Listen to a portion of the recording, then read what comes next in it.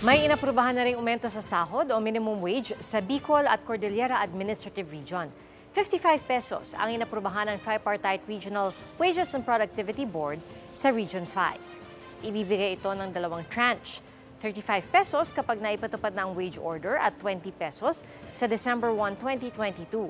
Inaprubahan din ng board ang pagtaas ng sweldo sa mga domestic workers sa rehiyon na hanggang 1,500 pesos. Kaya ang buwan ng sweldo ng mga domestic worker doon magiging 4,000 pesos na.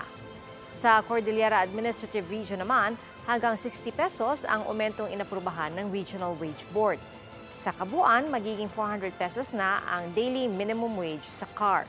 Ibibigay rin ito ng dalawang tranche. Mga kapuso, saksihan ang unang pasok ng mga balita. Maaaring mapanood ang saksi at ang iba pang GMA Newscast sa youtube.com slash GMA News. I-click lang ang subscribe button.